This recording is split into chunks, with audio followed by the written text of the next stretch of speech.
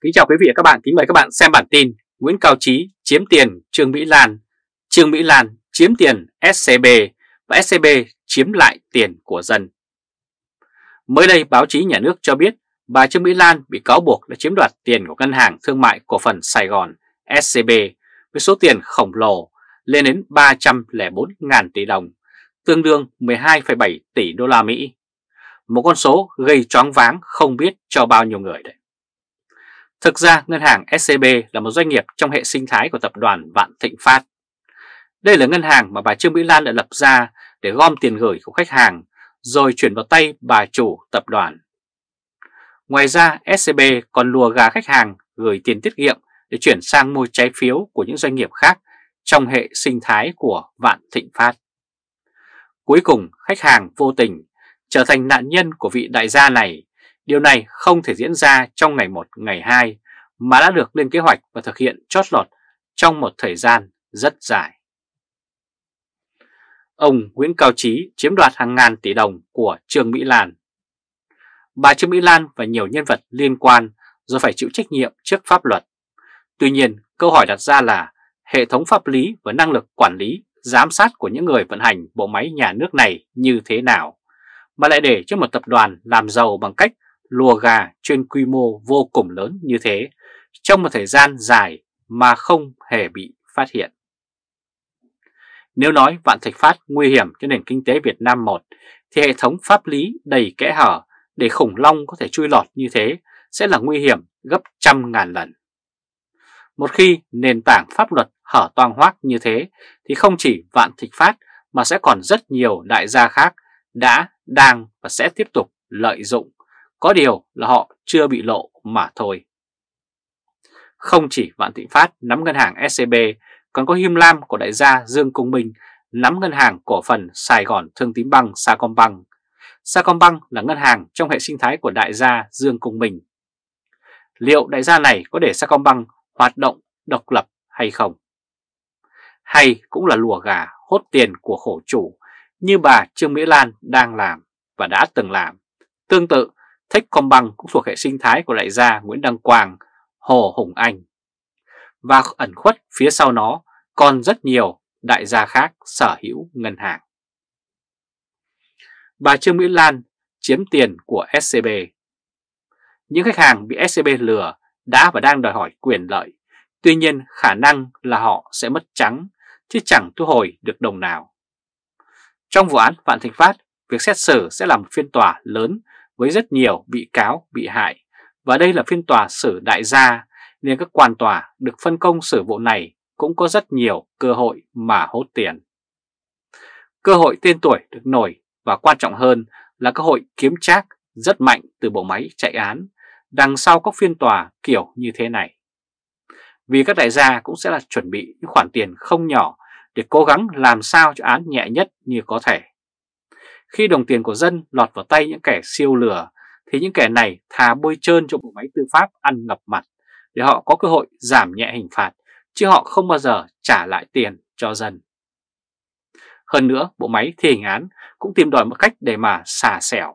Vậy nên, người dân đừng có mơ là được hoàn trả lại số tiền lỡ gửi vào SCB. Khách hàng lỡ tin lời của SCB xem như mất trắng tiền. Kết quả điều tra của công an cũng cho biết đại gia Nguyễn Cao Trí đã chiếm đoạt của bà Trương Mỹ Lan số tiền lên đến 1.000 tỷ đồng. Vậy thì Nguyễn Cao Trí chiếm đoạt tiền của Trương Mỹ Lan, Trương Mỹ Lan lại chiếm đoạt tiền của SCB và cuối cùng thì SCB chiếm đoạt tiền của người dân cả nước. Sự chiếm đoạt lẫn nhau như thế, cuối cùng chỉ có người dân là chịu thiệt thòi hơn cả. Và nhiều người rẽ trắng tay. Cũng giống như các vụ án chuyến bay giải cứu, các quan chức và gian thương chấn lột dân. Sau đó những người tham gia tố tụng chấn lột lại moi tiền của những người đứng trước vành móng ngựa thông qua hình thức chạy án. Cuối cùng người bị hại thực sự là người dân mà chẳng được hoàn trả một xu nào. Nào là công lý, nào là tòa án như có vẻ dân chủ. Tuy nhiên, về bản chất, kẻ có quyền thịt kẻ thất thế. Còn công lý cho người bị hại Thực sự thì mơ đi, không có bao giờ cả. Quý vị và các bạn vừa theo dõi chương trình truyền hình trực tiếp của Thời báo chấm với bản tin Nguyễn Cao Trí chiếm tiền Trương Mỹ Lan. Trương Mỹ Lan chiếm tiền SCB và cuối cùng SCB đoạt tiền của dân. Quý vị và các bạn chia sẻ video này cho nhiều người biết và bấm nút theo dõi YouTube và Facebook của Thời báo chấm để luôn được cập nhật những bản tin mới nhất, nhanh nhất và trung thực nhất. Từ Berlin, Cộng hòa Liên bang Đức chào các bạn và hẹn gặp lại các bạn ở bản tin lần tới. Trung Khoa Thời báo chấm đề Kính chào quý vị và các bạn, kính mời các bạn xem bản tin Lưu Bình Nhưỡng, người nắm giữ bí mật quan chức còn khủng hơn Tổng cục 2. Quốc hội Việt Nam lâu nay vẫn chỉ là quốc hội bù nhìn. Hầu hết những đại biểu có mặt tại nghị trường đều là những ông nghị gật. Tuy cũng có những tiếng nói nghe được nhưng rất lẻ loi. Thường những tiếng nói này do Đảng Cộng sản Việt Nam dựng lên để mà làm cảnh, để quốc hội trông có vẻ dân chủ. Hầu hết những gương mặt của tiếng nói đứng về phía dân, dân đều biết, chỉ vì họ quá ít so với những nghị gật, biết vì họ nói dân nghe, mất lòng. Trước ông Lưu Bình Nhưỡng còn có ông Dương Trung Quốc. Trong số những tiếng nói thay dân trên nghị trường trước đây có ông Dương Trung Quốc. Ông Quốc là đại biểu quốc hội 4 nhiệm kỳ. Ông là người thường xuyên có tiếng nói mà người dân tán thưởng. Tuy nhiên đến nhiệm kỳ thứ tư của ông, tức là quốc hội khóa 14, ông gần như chẳng đóng góp được tiếng nói nào đáng chú ý. Ở Quốc hội 14, ông Lưu Bình Nhưỡng nổi lên như một đại biểu Quốc hội dám nói thẳng. Khi ông Nhưỡng nổi lên thì ông Dương Trung Quốc chìm dần. Tuy nhiên, nhiều người đánh giá rằng về mức độ hiểu luật, khả năng phân tích và mức độ can đảm thì ông Lưu Bình Nhưỡng được đánh giá là vượt trội. Đặc biệt, giới luật sư đánh giá rất cao những ý kiến đóng góp của ông Lưu Bình Nhưỡng, mặc dù những ý kiến của ông Nhưỡng hầu hết bị Đảng Cộng sản Việt Nam bỏ ngoài tai. Tại Quốc hội khóa 14, ông Lưu Bình Nhưỡng được chọn làm Phó ban dân nguyện. Ông Nhưỡng được chọn vì ông có nhiều đề cử cho chức vụ này, hơn nữa ông từng có 22 năm giảng dạy tại trường đại học luật ở Hà Nội. Trưởng ban dân nguyện phải là ủy viên Trung ương Đảng nên ông Nhưỡng dù rất am hiểu về luật, dù là người có trình độ vẫn chỉ là phó ban. Ông trưởng ban dân nguyện có nhiệm vụ nghe ngóng xem dân ca thán những gì sau đó mách cho đảng để nghĩ cách đối phó, chứ không phải lấy ý kiến của dân để mà nghiên cứu, xem xét rồi giải quyết những vấn đề khúc mắc của dân, cũng như sửa đổi chính sách sao cho hợp lòng dân. Tiếng nói của ông Lưu Bình Nhưỡng khiến nhiều quan chức phải sợ hãi. Ban dân nguyện được thành lập theo nghị quyết số 370 vào ngày 17 tháng 3 năm 2003 của Ủy ban Thường vụ Quốc hội từ khi thành lập, đa số thành viên của ban này đều dễ sai bảo. Họ tiếp nhận ý kiến, kiến nghị của dân rồi tâu lại để đảng từng cách mà trừng trị dân. Đã 20 năm tồn tại, nhưng trong ban dân nguyện chỉ có ông Nhưỡng thực sự lắng nghe dân, tiếp nhận đơn thư cầu cứu của dân rồi vì dân mà phang thẳng vào mặt quan chức trên nghị trường.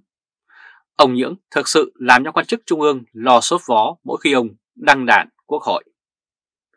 Việc chấp nhận để ông Nhưỡng làm đại biểu quốc hội được xem như là sai lầm của Đảng. Chính vì thế, đến Quốc hội khóa 15, Trung ương chỉ đạo ngầm là phải loại ông Nhưỡng ra khỏi Quốc hội để tránh đêm dài lắm mộng. Tuy nhiên, giữ chức phó ban dân nguyện của ông Nhưỡng để tránh thiên hạ dị nghị. Tuy bị gạt ra khỏi Quốc hội khóa 15 nhưng ông Lưu Bình Nhưỡng vẫn là địa chỉ mà người dân tìm đến để cầu cứu. Không chỉ dân tìm đến ông Nhưỡng mà nguồn tin từ bên trong cho biết cả quan oan cũng tìm đến ông. Bởi những năm gần đây khi mà Trung ương đấu nhau trí tử thì xuất hiện những quan chức bị phe ông Tổng truy sát và có ý đồ loại trừ. Những người này đã tuồn trong những những bí mật đáng tởm của các quan chức phe đối nghịch mà tung ra. Không biết sự thật đến đâu, tuy nhiên thông tin này khó bác bỏ khi mà chuyện đấu đá nội bộ bị tuồn ra khá nhiều ở bên ngoài để rồi các trang tin báo tự do có rất nhiều thông tin để mà đăng tải, sau đó thông tin từ hải ngoại lại bay ngược về trong nước. Ông Lưu Bình Nhưỡng và ông Dương Trung Quốc một lần tiếp dần.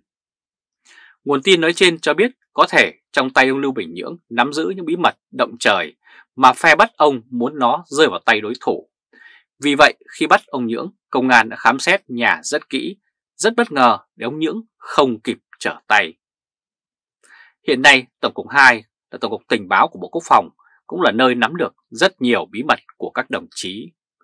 Có người nói nửa đưa nửa thật rằng ông Nhưỡng nắm bí mật của các đồng chí có khi còn khủng hơn cả Tổng cục 2, nên ông phải bị xử mà thôi.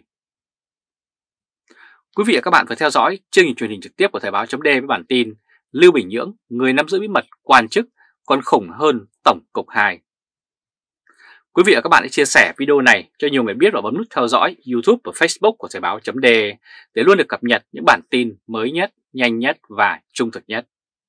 Từ Berlin, Cộng hòa Liên bang Đức chào các bạn và hẹn gặp lại các bạn ở bản tin lần tới.